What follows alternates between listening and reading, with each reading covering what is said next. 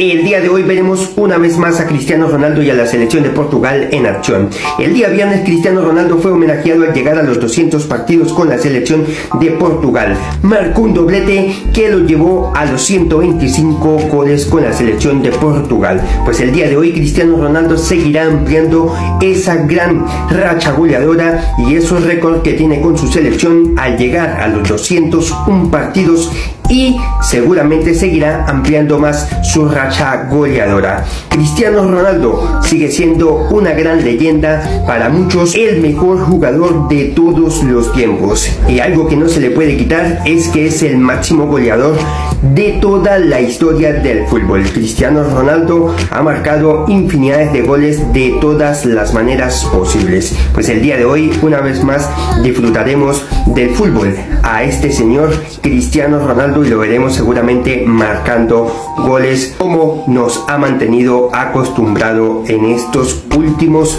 tiempos. Cristiano Ronaldo a sus 38 años sigue siendo un hombre récord.